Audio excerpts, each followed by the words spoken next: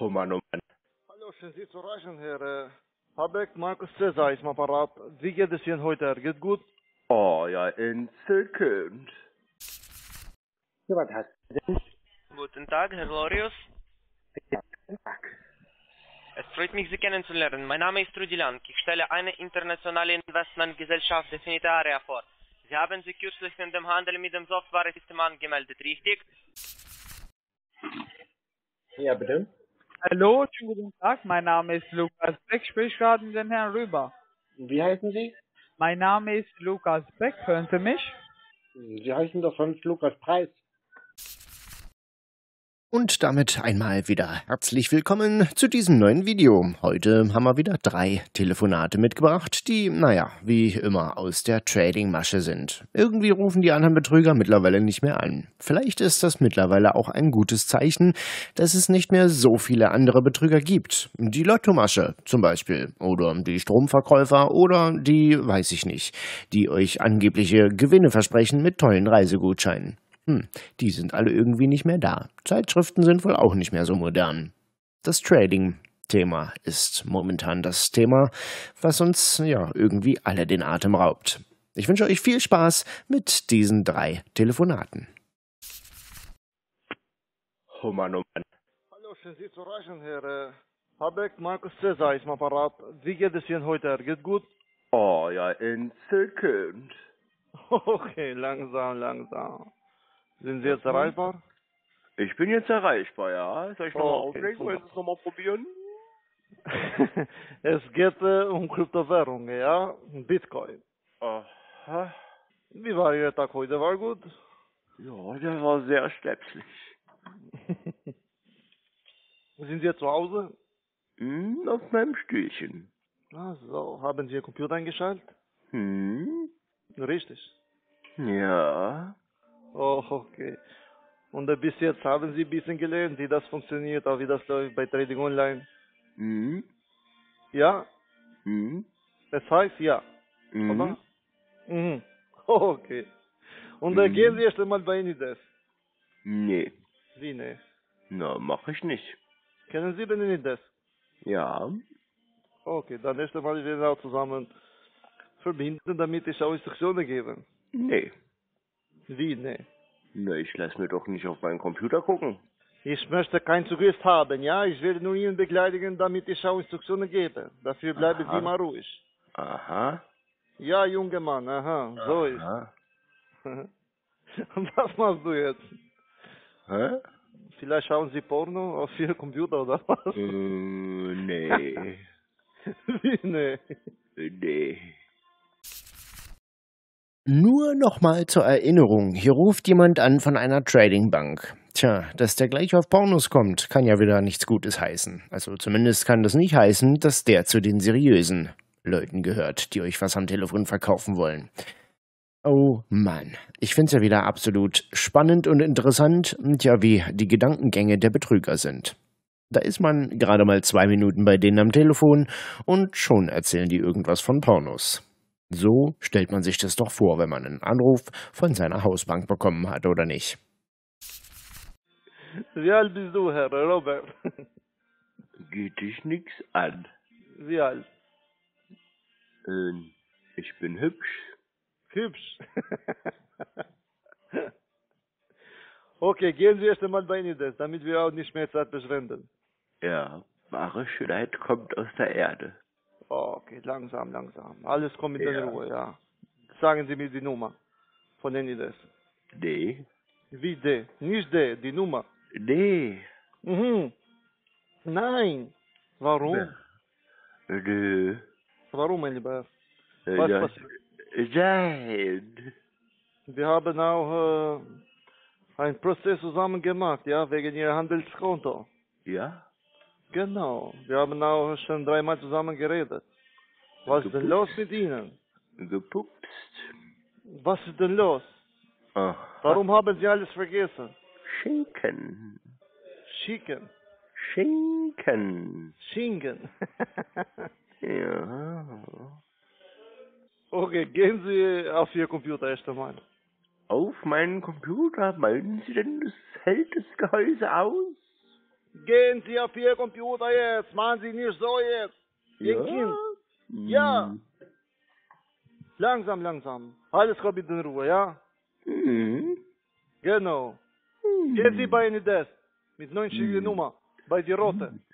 Nee, Wie, nee? ich gehe nicht bei Anydesk. Bei Team Viva. Nee, auch nicht. Wo sind Sie? Sind Sie zu Hause? Ja, Bei welchem Zimmer? Gästezimmer. Ich werde auch dabei. Okay, dann äh, was möchten Sie machen mit Ihr Konto? Sagen Sie mir. Äh, da möchte ich gerne Butter einfühlen. Ah, Genau so, Cowboys. Wir werden das auch zusammen machen. Ich bin Das auch ein Cowboy. das ist wieder besser. Ich bin auch ein Cowboys, ja? Ich bin Ja. Pornostar. Mein zweiter Ah. Job, Pornostar, ja. Ich Ja. habe viel Video gemacht. Ja. Mit dem jungen Mann, ja? Babyplatz und der Dönerbraten. Möchten Sie bupsen? Mit mir? Nee. Pippi Max mit Dönerbraten. So muss wohl der Titel gewesen sein deinem Wo sind Sie jetzt? Ich werde auch, ich komme jetzt dabei, ja? Ja, das ist aber sehr schlimm. Gehen Sie jetzt bei Nides, jetzt sofort. Wir werden das auch zusammen machen. Bei Nee. Nides. Sie- Äh, äh. Keine Chance. Warum Ich- gehen Sie jetzt bei Nides? Nee, Ich bin sehr excitiert jetzt. Gehen ich bei lass Nides. mir doch nicht von dem Betrüger auf meinen Computer. Nein, sagen Sie nicht so. Scheiße, sagen Sie nicht so. Betrüger. Nein, sagen Sie nicht Betrüger.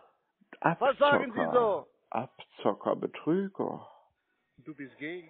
Sahneschnitte. Du bist ein kleiner Gay, ja? Und du bist ein kleiner Fisch. Hallutsch, mein Neuer, du Wichser, du Hurensohn. Nein, die sind von zu Deutschland. und Alle Deutsche ungewaschen. sind Kartoffel. Raus Ja. von Deutschland, du kleine Pede. Ja. Raus. Oh, du bist aber niedlich. Ja, eine kleine Honigmelone. Gehen Sie bei Nides. Nein. Gehen Sie jetzt sofort. Nein. Machen Sie nicht so jetzt. Nee. Junge Mann, machen Sie nicht so jetzt. Gehen Sie bei Nides. Nein, alter Mann. Ich bin richtig ein alter Mann, ja? Ich bin über 60 Jahre. Ja, sowas ist schon alt und schrumpelig. Ich werde alle junge Mann ficken, ja, wie Sie, ja? Ja. Weil du bist ein wichtig ein Hurensohn. Oh, toll. Das ist aber nett. Und sonst so? Erzähl mehr von deinem Zuhause. Raus von Deutschland, raus. Nee, Nazi. nee, Du Hurensohn. Nee, nee. äh, nee. Raus. Ja, also weiß ich nicht. Ich meine, ihr könnt ja gerne mal in die Kommentare schreiben, was ihr von dem netten Herrn hier so denkt. Aber ja, ich glaube, so, so richtig nett ist er ja nicht. Weil irgendwie war er dann ja doch wieder unfreundlich. Hm, ich weiß es nicht. Beleidigen können sie irgendwie alle super gut von den Betrügern. Ja, das ist irgendwie das Einzige, was sie überhaupt können. Tja. Und vor allem Anydesk schon wieder. Wieder so eine Firma, die einfach mal auf euren Computer gucken möchte, was da so schönes, interessantes los ist. Tja, dass ihr da die Finger von halten solltet, das wisst ihr ja bereits. Wenn man einmal den Zugriff auf eurem Computer hat, ihr wisst nicht, was dann danach passiert. Also, naja, ich kann es euch erzählen, man wird euch einen Trojaner installieren und dann Zugriff auf all eure Logins haben. Und es ist tatsächlich auch einfacher, als man denkt. Man kann, wenn ihr euch auf YouTube zum Beispiel einloggt, ist ein Cookie, also dieser Kuchenkrümel, Kekskrümel sagt man ja auch dazu, ist ein Cookie gespeichert auf eurem Rechner. Der enthält alle Zugangsdaten. Den kann man vom Computer auslesen, wenn man Zugriff auf den Computer hat. Und dann kann man sich direkt einloggen, ohne, die, äh, ohne das Passwort, ohne die Daten zu wissen.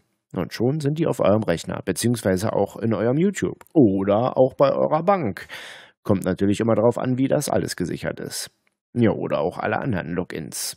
Ich meine, wenn man sich bei euch beim Amazon einloggen kann, ist das auch nicht unbedingt spaßig, wenn man hier die Zwei-Faktoren-Authentifizierung nicht aktiviert hat. Sollten wir vielleicht auch mal ein Infovideo dazu machen, wie man sich möglichst schützen kann. Wäre mal was für die Zukunft. Schreibt mal in die Kommentare, ob ihr sowas mal äh, haben wollt. Guten Tag, Herr Glorius. Es freut mich, Sie kennenzulernen. Mein Name ist Rudi Lang. Ich stelle eine internationale Investmentgesellschaft Definitaria vor. Sie haben sich kürzlich in dem Handel mit dem Software-System angemeldet, richtig? Nee. Es kann nicht sein, weil ich habe Ihre Nummer. Haben Ja, Sie warum- bereits, haben Warum Sie bereits denn, warum fragst du denn nach Richtigkeit? Äh, Entschuldigung? Ja, also das ist tatsächlich in der Tat schon wieder von Anfang an verwirrend. Der ruft hier mit einer sehr aggressiven Stimme an und fragt, ob das richtig ist, ob ich mich da angemeldet habe. Ich verneine das Ganze und der widerspricht mir. Hm, also wozu fragt er mich denn, wenn er die Antwort doch schon weiß und geben wird und will und kann oder wie auch immer? Einfach nur wieder Wahnsinn. Tja, aber so läuft es in den Betrüger-Callcentern. Die wollen euch die ganze Zeit unter Druck setzen, damit ihr irgendwie da Geld überweist. Nett? Will da irgendwie keiner sein. Weiß ich nicht, dass das überhaupt funktioniert, aber es scheint ja wohl mit dieser Methode zu funktionieren. Hören bitte. Ja, warum fragst du denn nach Richtigkeit, wenn du dem dann widersprichst? Hm, macht doch keinen Sinn.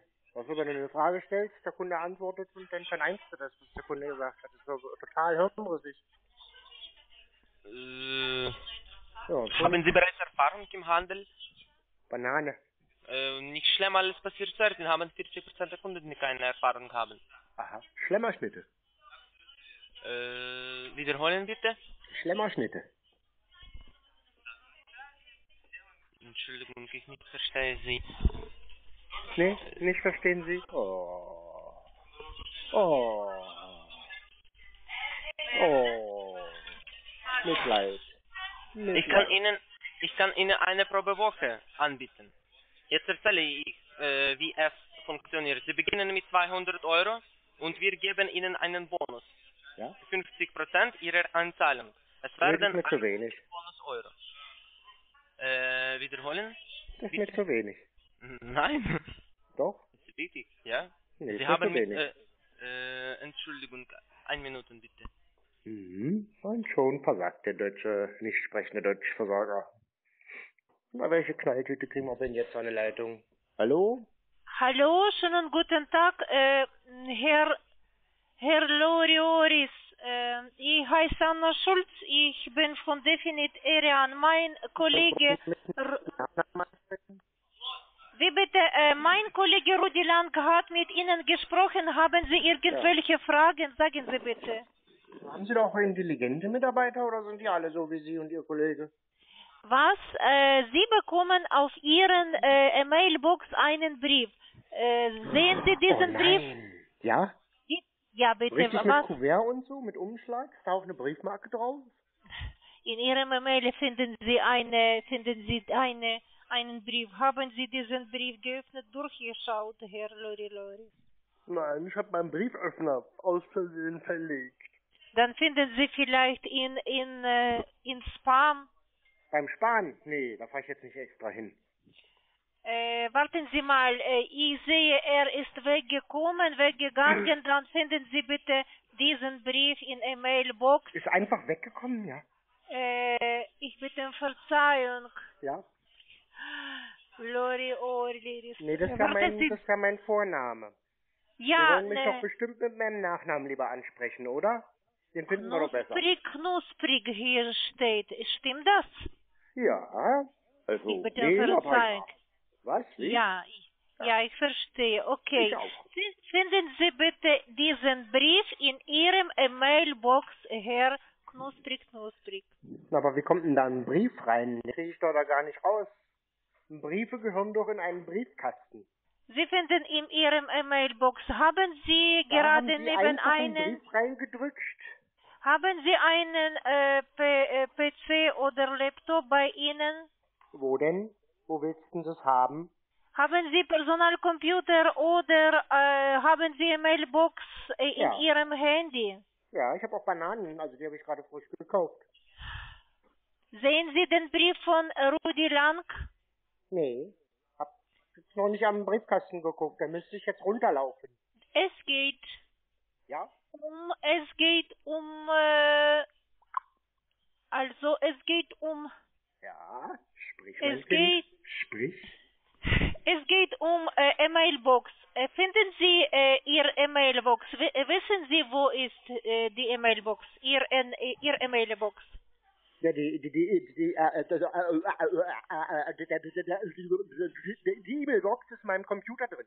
Jetzt habe ich mal Sie versucht, auf. Ihrem Niveau ein bisschen zu antworten, dass Sie das vielleicht noch besser verstehen. Suchen Sie bitte, öffnen Sie bitte Ihren E-Mail-Box. Du meinst Postfach. Sehen Sie denn?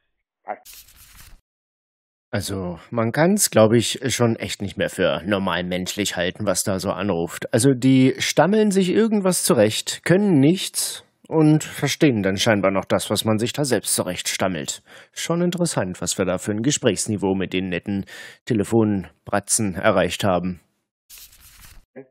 Was soll ich denn sehen? Den. Ha- Im Wald. Ja. Äh, Sehen Sie bitte diesen Brief, finden Sie bitte von Rudi Lang. Er ist gerade weggegangen. Vielleicht der ist er in Spam oder in Der ist im Spam, beim, beim Sparen ist er hingegangen, oder wie? Einfach so. Ja, einfach so in Ihrem Oh. E-Mail. Verstehen Sie, was bedeutet E-Mail-Adresse, Ihr E-Mail-Box? Nicht so richtig, weil, weiß ich nicht. Das, hm, Sehen Sie denn ja oder nein? nee. Äh, warten wir mal, ich sehe da, es, der Brief ist weggegangen und Sie können diesen Brief Essen? finden. Es ist Wann darf ich Sie nochmal anrufen, Herr Knustrig Knustrig? äh, die Sabine bei der Bettina und äh, mit der Barbara. Wann darf man Sie nochmal anrufen? Wie bitte? Ja, vorgestern. Und dann hat sie es endlich geschnallt, dass das Gespräch wohl nichts mehr bringen wird und hat, ja, aufgelegt. So wie man sich das halt von den Betrügern vorstellt. Ne? Die legen halt einfach auf, wenn sie nicht mehr weiter wissen und was sie da großartig zu sagen sollen. Schon Wahnsinn. Das Gespräch, das hat von Anfang an keinen Sinn ergeben. Wir hatten jemanden dran, der der deutschen Sprache kaum mächtig war. Eigentlich überhaupt nicht. Und dann hat er gewechselt mit einer netten Dame, die auch keine deutsche Sprache kann. Also zumindest nicht so wirklich. Ja. Sie hätte das Theater hier noch mitgespielt, bis sie dann wahrscheinlich einfach überhaupt nicht mehr verstanden hat, was ich von ihr möchte. Ja, und dann legt man halt einfach auf, wenn man aus einem Betrüger-Callcenter kommt und nicht mehr so richtig weiß, was man noch antworten soll. Naja, schreibt gerne mal in die Kommentare, was ihr von der netten Lady hier haltet. Ich habe euch noch ein Telefonat mitgebracht. Ja, bitte. Hallo, schönen guten Tag. Mein Name ist Lukas Beck. Sprich gerade mit den Herrn rüber. Wie heißen Sie? Mein Name ist Lukas Beck. Hören Sie mich? Sie heißen doch sonst Lukas Preis. Bitte? Ich dachte Lukas Preis. Lukas ist mein Name, genau. Mhm. Haben Sie mich gehört? Ja, Sind Sie der Herr Lutz Röber? ja. Wunderbar, ich grüße Sie. Äh, Sie haben bei Finatec, also bei äh, tägliche Profite, eine Anmeldung gemacht. Können Sie sich erinnern? Nee, Bitte? nein. Können Sie nicht erinnern? Ja. Deswegen melde ich mich bei Ihnen, um das zu sagen. Weil Sie haben das vergessen, aber ich lasse nicht, dass Sie es vergessen. Aha. Okay, es geht es um Online-Handlung. Damit Sie dadurch, also dass Sie durch Online-Handlungen Profite machen können. Haben Sie schon Erfahrung an Online-Handlung? Weil wie ich es hier sehe, steht, dass Sie schon Erfahrung haben. Nee, brauche ich nicht. Brauchen Sie nicht? Nee. Also Sie wissen schon, was es ist, ja? Mhm. Was für eine Erfahrung haben Sie? Ich dachte, ich brauche da weiter nichts. Bitte? Ich sagte, ich brauche da weiter nichts. Praktisch brauchen Sie das nicht. Richtig. Also ist nicht so gut gelaufen, meinen Sie? Nee, das habe ich nicht gemeint. Ist nicht gut gelaufen? Nee, habe ich nicht gesagt. Okay, was ist passiert? Haben Sie da Verluste gemacht oder? Ja, nee, hat ja damit nichts zu tun. Ja, aber Sie haben schon mal damit was zu tun gehabt, oder nicht? Ja, natürlich, aber was, was wollen Sie jetzt da von mir?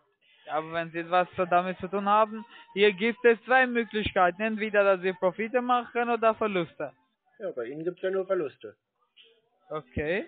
Haben Sie, wenn ich mal fragen darf, haben Sie da große, mit größer Summe gehandelt oder mit kleiner Summe? Mit gar keiner. Mit kleiner. Mit gar keiner.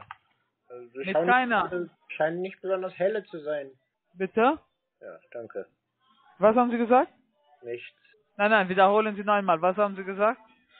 Ich sage, Sie scheinen nicht besonders helle zu sein. Scheint nicht bei der Fälle zu sein. Oh Gott. Mit Intelligenz ist nicht so, ne? Bitte? Danke. Was haben Sie gesagt? Ich sagte, mit Intelligenz ist nicht so bei Ihnen. Bei mir. Hm. Und Sie sind intelligent. Naja, scheinbar intelligenter als Sie. Echt? Ja. Beweisen Sie mir, zeigen Sie mir, dass Sie intelligenter sind als ich. Nö, kein Interesse. Kein Interesse? Hm? Dann Genau. sind Sie dumm, falls Sie kein Interesse haben. Falls Sie Nee. jetzt schlauer sind, dann können Sie mir beweisen. Wieso nicht? Sie Keine sind doch schlau. Zeigen Sie mir, dass Sie schlau sind. Nö. Ja? Nee? Ich zeige Nee, Ihnen, keiner- dass ich glaube, indem ich nicht bei Ihrer Betrugsfirma äh, irgendwas investiere.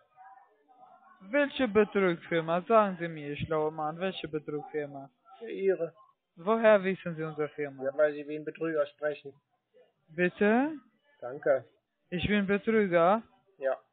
Habe ich Ihnen schon mal betrügt, schlauer Mann? Nö, aber ich lasse das ja auch nicht Nö. zu. Aber woher wissen Sie dann, dass ich Betrüger bin? Habe ich doch gerade gesagt. Sie haben nichts gesagt. So, Sie haben doch keine Beweise, dass ich Betrüger bin. Woher wissen Sie so das? unseriös Haben wir schon mal miteinander verhalten. gesprochen? Natürlich. Wann? Auch ganz oft schon. Sagen Sie mir wann. Aufs Datum weiß ich doch aus dem Kopf nicht. Aber wieso lügen Sie? Ich lüge ja nicht. Es ist das erste Mal, dass ich Ihnen kontaktiert habe. Nee, wir haben schon ganz So. viele Videos von dir auf dem YouTube-Kanal. Wie heißt... Ah, bitte? Ich sage, ich habe schon ganz viele Videos von dir auf dem YouTube-Kanal. Von mir? Ja. Ah, und wie heiße ich? Ja, sonst Lukas Preis. Lukas Treis. Ja, Nein, mein Herr, ich bin Lukas Beck. Was laberst du? genau. Genau. Unseriöser geht's ja nicht. Was? Schlauer Mann. Mhm. Seit wann sind Sie schlau oder waren Sie immer schlau? Ich war schon immer schlau. Immer schlau? Mhm. Seitdem Sie geboren sind? Ja. Und waren Sie, von wem haben Sie diese Intelligenz bekommen? Von Ihrer Mutter wahrscheinlich, ja. Ja. War Ihre Mutter schlau oder lebt sie immer noch? ja. Ich weiß nicht, was dir das angeht. Aber sie verhalten sich ja wie ein Betrüger am Telefon, also von daher. Ja, von daher bin ich Betrüger. Ja, ja, genau. Aber ich habe Ihre Mutter nicht gefickt, Betrüger zu sein. Na gucke, so reden nur Betrüger. Echt? Bewiesen. Aber wieso beleidigen Sie mich? Wieso sagen Sie mir, dass ich Betrüger bin? Das ist ja keine Wenn Sie Beleidigung. mich gar nicht kennen. Wenn Sie gar nicht, wenn Sie mich gar nicht kennen, wenn Sie meine Firma gar nicht kennen, wieso sagen Sie das? Ich brauche die nicht kennen. Ihr wechselt ja euren Namen sowieso alle paar Wochen. Was bist du für ein schlauer Mann denn? Mhm. Der so verhalten. versuch nicht so, bei dir zu investieren. Wer nimmt dich? Keiner nimmt dich. Mhm. Keine Sorge. Auch wenn du willst, wird dich keiner nehmen. Bist du jetzt fertig? Auch wenn du planst, 100 Millionen zu investieren, wird dich keiner nehmen. Keiner braucht Leute wie sie. Ja. Und keiner braucht Leute wie dich. Und auch keiner braucht so eine scheiß Firma wie eure. Und keiner braucht so einen, einen, Intelli einen scheiß intelligente Wowine. Ja. Genau. Ciao, ciao. War das ja geklärt, du Betrüger. Ja, genau. Da haben wir wieder den ganz seriösen Trading-Berater am Telefon aus irgendeiner Handelsbank. Oh Mann, ich weiß es nicht. Also, die enttarnen sich ja immer wieder selbst, spätestens zum Ende des Gesprächs. Aber wirklich, wer zahlt da sein Geld ein? Schon alleine widerspricht, der Slang, gelangweilt. Vorher hieß er Lukas Preis, jetzt heißt er Lukas Beck oder wie auch immer. Es ist einfach wirklich ganz, ganz schlimm. Die rufen überall bei uns in Deutschland an, in Österreich, in der Schweiz und eigentlich sogar in ganz Europa, um irgendwie die Leute um ihre Kohle zu bringen. Tja, dass man hier nichts verdienen kann, sollte, glaube ich, tja, eigentlich jeder wissen. Nur genau das ist eben das Problem. Nicht jeder weiß es und es gibt leider Menschen, die da ihr Geld drin versenken in solchen Firmen. Von daher teilt sehr gerne die Videos auf Social Media mit euren Freunden, Verwandten, Bekannten, mit allen, denen ihr kennt, damit niemand von eurem Umfeld auf sowas reinfällt.